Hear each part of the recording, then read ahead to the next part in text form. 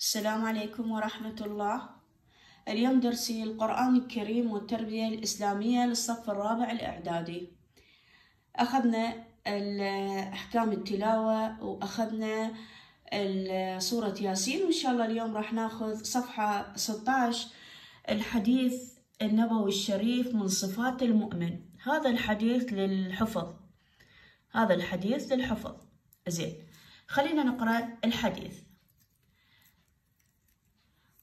قال رسول الله صلى الله عليه وسلم لا تحاسدوا ولا تناجشوا ولا تباغضوا ولا تدابروا ولا يبع بعضكم على بيع بعض وكونوا عباد الله إخوانا المسلم أخو المسلم لا يظلمه ولا يخذله ولا يكذبه ولا يحقره التقوى ها هنا ويشير إلى صدره ثلاث مرات بحسب امرأ من الشر أن يحقر أخاه المسلم كل المسلم على المسلم حرام دمه وماله وعرضه. صدق رسول الله صلى الله عليه وسلم.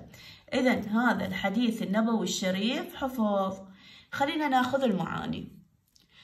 الحسد تمني زوال نعمة الآخرين أو السعي في إزالتها.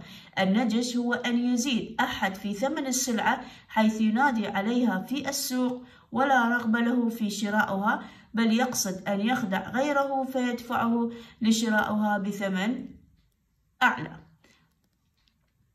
التدابر. هو أن يعرض الإنسان عن صاحبه ويهجره. لا يسلمه لا يتركه مع من يؤذيه ولا فيما يؤذيه. الخذلان هو عدم المساعدة عند الحاجة إليه. إليها. لا يكذبه أن يتعامل المسلم مع المسلم بالصدق واجتناب الكذب. لا يحقره لا يصغر من شأنه. التقوى مخافة الله وفعل ما أمر به واجتناب نواهيه. بحسب امرأ من الشر أن يكفيه من الشر. إذا الحديث والمعاني حفظ. ناخذ شرح الحديث. شرح الحديث ملخص بحل المناقشة. يعني فملخص. مثلا نقول لك قوله تعالى اشرح بالآية القرآنية أم يحسدون الناس على ما آتاهم الله من فضله. أنت تقرأ هذني. يعني فراح نأخذ أهم ما يرشد إليه الحديث. أهم ما يرشد إليه الحديث النبوي الشريف. يلا عيوني. يلا حبايبي. يا الله يا الله. يلا. صفحة عشرين. هذا حفظ الطالب يحفظ يقول لك اكتب.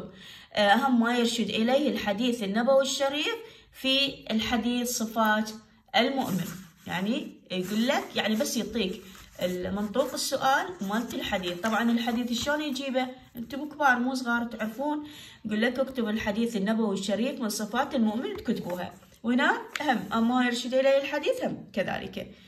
نحل المناقشة. أولا ما معنى لا تناجشوا الواردة في الحديث النبوي الشريف؟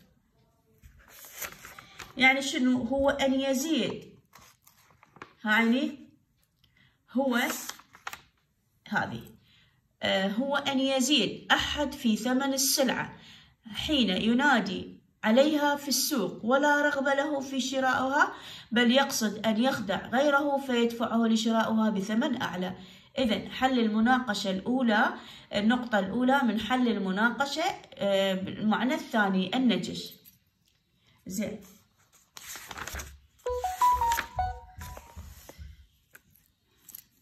ثانيا ما الحكمة في نهي رسول الله صلى الله عليه وسلم عن الحسد والنجش والتدابر والتباغض؟ الحكمة يعني شو نقول؟ الوا... شنو واجب على المؤمنين؟ راح أقولها على كيف خاطر تكتبوها؟ الواجب على المؤمنين أن يكونوا كالبنيان المرصوص. يشد بعضه بعضا وكالجسد الواحد. إذا اشتكى منه عضو تداعى له سائر الجسد بالسهر والحمى. ثلاثة ما مقياس التفاضل في الإسلام؟ استشهد ذلك بما تحفظ من القرآن الكريم. هذه أشرتها لكم. النقطة الثالثة هياتها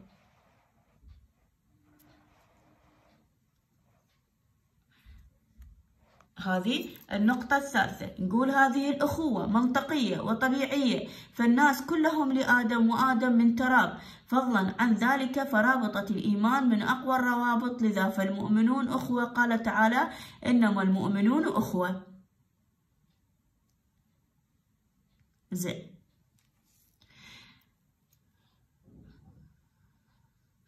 وهذه الجواب النقطة الثانية. ما أشرتها. أنا بس قريتها بس ما أشرتها. شوفوا أمي. هذه جو السطرين النقطة الثالثة من حل المناقشة. هذا الحد الحما بالسهر والحما استولقتها جواب النقطة الثانية من المناقشة. النقطة الأولى من حل المناقشة هياتها آه، المعاني مال النجش هذني إيش بقت لي؟ بقت لي النقطة الرابعة. يقول الحسد نوعان مذموم ومحمود. وضحوا ما ذاكر الحديث النبوي في بيان في بيان الحسد المحمود. يعني فالنقطة الرابعة هياتها صفحة 17 هياتها نقول فالحسد هو تمني. زو... الذي هو تمني زوال نعمة الغير مذموم ووجه ذمه وقبحه إنه اعتراض على إرادة الله تعالى ومعاندات ومعاندة له إذ إنه سبحانه وتعالى أنعم على غيره. يقول استشهد الرسول صلى الله عليه وسلم قال لا حسد إلا في إثنتين رجل أتاه الله مالا فسلطه على هلكته في الحق ورجل أتاه الله حكمة فهو يقضي بها ويعلمها.